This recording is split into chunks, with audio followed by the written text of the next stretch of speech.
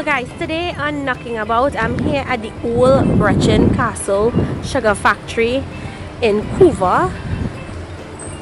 This factory has been closed down for quite a while and you can see how old it is. I was just passing through and I thought it would be really nice to share share this footage with you guys.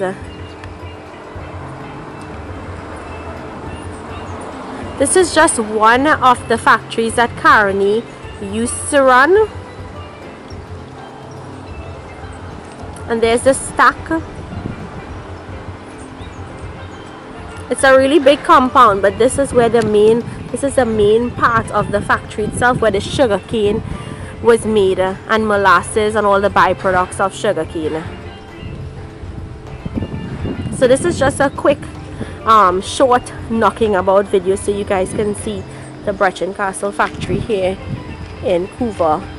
They also used to have a sugar heritage village and museum but everything has been closed down.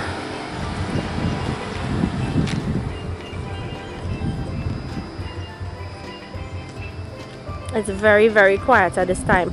If you go further down this road you're going into the golf course. They have a really lovely golf course down on that end